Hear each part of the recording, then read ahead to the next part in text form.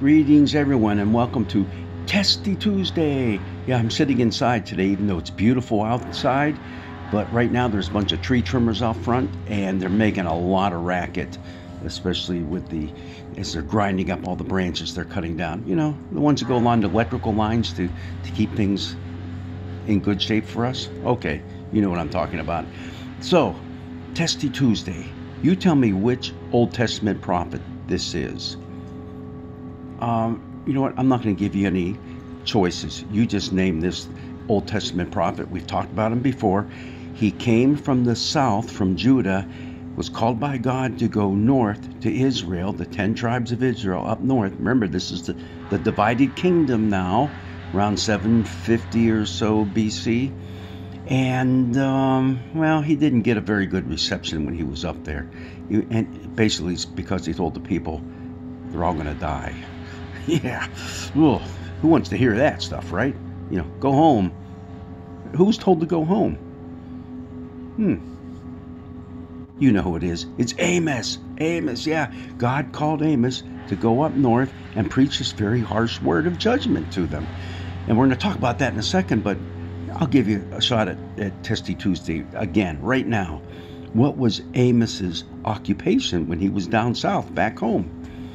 Was he a tax collector? Was he a carpenter? Or did he take care of sheep and pick figs? The answer is the last one. He, he tended to his sheep and tended to his fig trees. Yeah. So, all right. So God calls him and says, Go up north. He didn't want to go, but he went. And he gets this awful, awful reception because he's saying stuff like this Seek the Lord and live, or he will break out against the house of Joseph like fire. House of Joseph being the northern tribes, and it will devour Bethel with no one to quench it. Bethel being the place of worship, the main city of worship at that time up north. Ah, oh, you who turn justice to wormwood and bring righteousness to the ground. Yeah, he he doesn't mince his words. He just comes right out and, and says it. And and this is what he goes on to say Because you trample on the poor and take from them uh, levies of grain, you have built houses of hewn stone, but you will not live in them. You've planted pleasant vineyards, but you shall not drink its wine.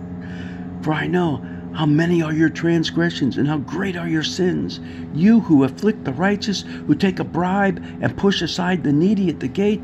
Therefore, the prudent will keep silent in such a time, for it is an evil time. okay, get the point?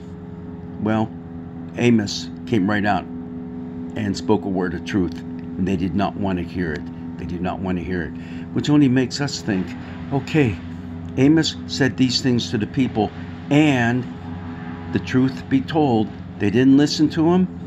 What happens a little bit later?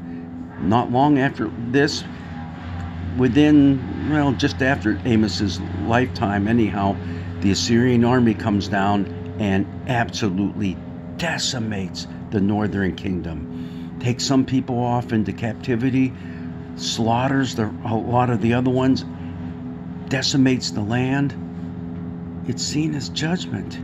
Judgment because the people have basically turned their backs on on Yahweh. No, you know what? These people are still worshiping Yahweh. Yeah. See, Amos is not speaking against their cultic practices, their worship practices. No, he's not speaking against that. He's speaking against their social actions. At the gate, at the gate is where all the legal uh, disputes were settled. And there's no justice there at the gates. They're turning aside the poor. The rich are getting richer, the poor are getting poorer, and what a mess we have. In other words, they know the truth. They know what God expects of them, but they turn their back on that truth. So, in effect, They've turned their back on God. They've turned their back on Yahweh. So as opposed to some of the other prophets who are going to talk about the worship of false gods and building altars to these other gods and things like that as being part of the problem. That's not mentioned here in Amos. The real problem is how do you treat those around you? How do you treat your neighbors? How do you treat the foreigners? How do you treat those who really need your help?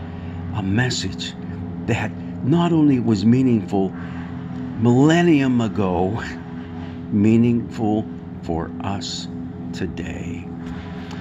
Okay, well, God's blessings be with you. And I don't know if you can hear all the wood chipping going on in the background. It's pretty noisy in my ears, maybe not in yours, but it's going on. And yeah, maybe there's biblical prophecies that talk about cutting down the tree by the.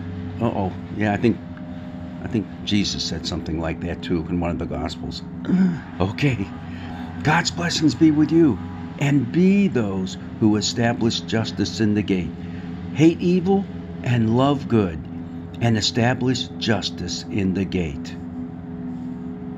The Word of God that Amos shared with the people in the north. God's blessings be with you.